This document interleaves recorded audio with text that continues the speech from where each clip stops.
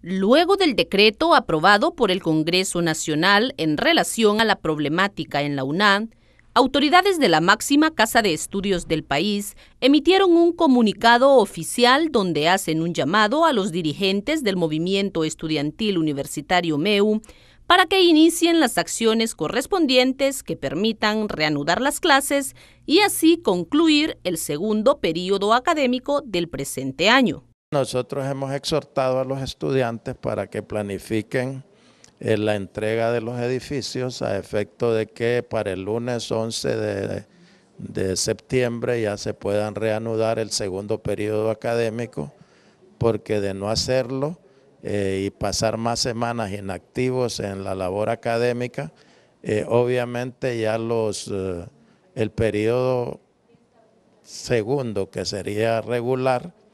pasaría casi a tener el riesgo de que se convierta en intensivo, porque ya el número de semanas se va a ir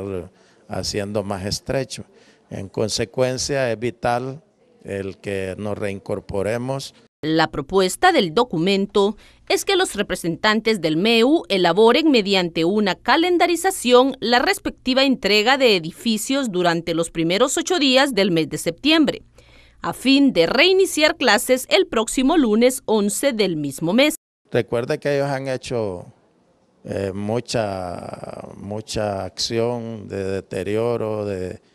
afectación en algunas instalaciones, hay que reacomodar muchas cosas, hay que tenerlas de manera adecuada para,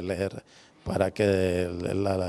las clases se desarrollen con normalidad y en condiciones lo más óptimas posibles y por eso se requiere tiempo para no estar el día que vengamos a clase arreglando días, reparando vidrios que quebraron, eh, pintando las manchas que pusieron, etcétera, sino más bien ya en un ambiente más sano, menos tosco y,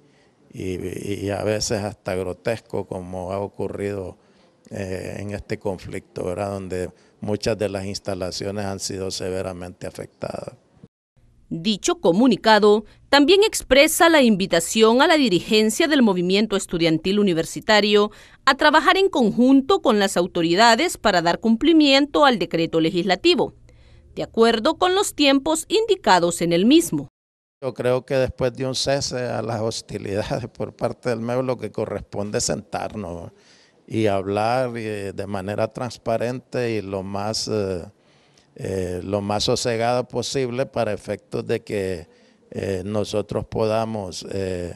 establecer un nexo de trabajo que en vez de estarnos viendo en las diferencias, más bien estemos convergiendo en las cosas que no son de interés común. Yo creo que el decreto está muy bien elaborado Siempre dijimos que nosotros, independientemente que nos gustara o no el contenido del mismo, eh, nos íbamos a supeditar porque el Congreso es el órgano de máxima representación en cuanto a legislar para la universidad. No hay otro organismo. Y lo otro es que nosotros no fuimos lo que requerimos la,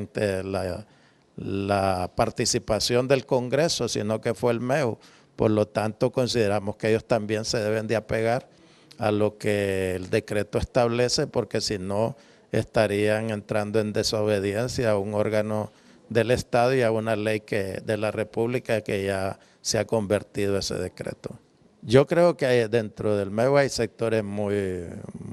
muy prudentes, muy sensatos, muy defendiendo su causa, pero con alguna brillantez en cuanto a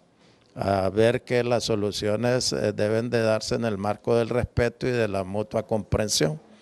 En ese sentido, nosotros abogamos porque estos sectores marquen la dinámica de aquí en adelante, porque habrán otros que obviamente siempre persisten en su vía de confrontación, que como vemos no nos deja ningún saldo positivo a ninguna de las partes. Entonces sí, creemos que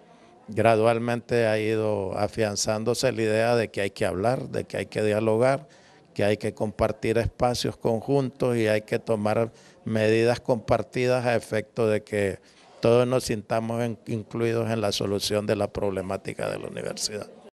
El documento concluye reconociendo y valorando el trabajo realizado por la comisión especial nombrada por el Congreso Nacional y el Pleno de la Cámara Legislativa,